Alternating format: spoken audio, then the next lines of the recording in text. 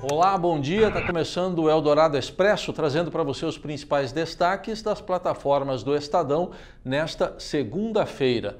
A gente começa falando de coronavírus, mudança de posição do governo brasileiro, que anunciou ontem a intenção de trazer de volta brasileiros que estão em Wuhan na China, o epicentro do surto de coronavírus, e que queiram voltar para o Brasil. Uma reunião hoje no Palácio do Planalto vai definir de que forma isso vai ocorrer, mas já se sabe que eles deverão ficar 21 dias em quarentena aqui em território brasileiro, conforme determinam os protocolos internacionais.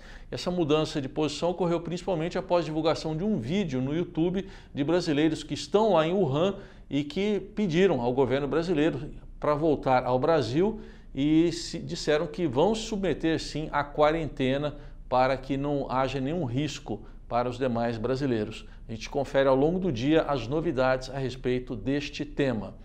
Outro destaque do noticiário de hoje é o aumento do número de trabalhadores brasileiros que ganham até um salário mínimo, aproximadamente um terço já nessa faixa salarial, de acordo com dados compilados da última pesquisa do IBGE sobre o assunto.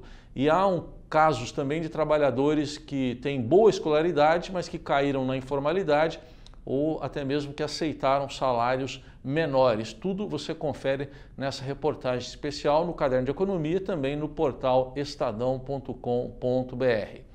Outro destaque do dia é a volta dos trabalhos no Legislativo. Hoje, às três da tarde, terá, haverá uma sessão solene no Congresso Nacional para a volta dos trabalhos da Câmara e também do Senado, com expectativa para vários assuntos serem votados ao longo do semestre, principalmente, como a reforma tributária, a reforma administrativa, tem também a questão da PEC que restabelece a prisão após condenação em segunda instância, tudo isso num ano mais curto no legislativo, porque os interesses estão voltados para as eleições municipais. A gente acompanha a reabertura dos trabalhos lá no Congresso.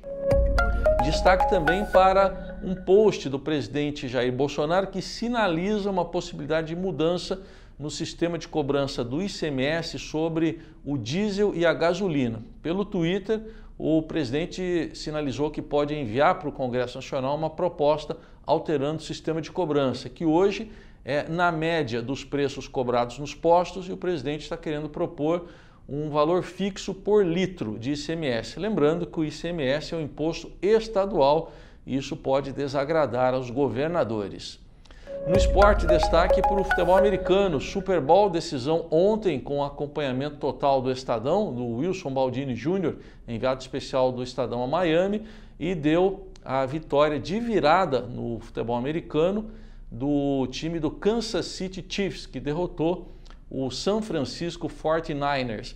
E teve um grande show também no intervalo, muito esperado, da Jennifer Lopes e, da, e, e, também da Shakira, chamando muita atenção do público. Você confere todos os detalhes dessa grande final lá no portal do Estadão, que traz também informações sobre o Paulistão 2020.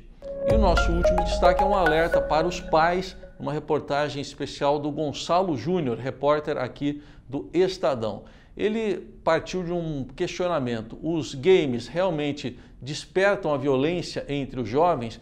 Isso teve como ponto de partida uma decisão do estado do Kentucky, nos Estados Unidos, de proibir um determinado tipo de game nas escolas.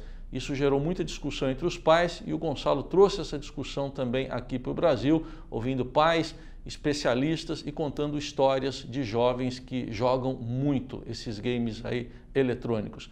Acompanhe estes e outros destaques desta segunda-feira nas plataformas do Estadão. Uma boa semana para você. Até amanhã.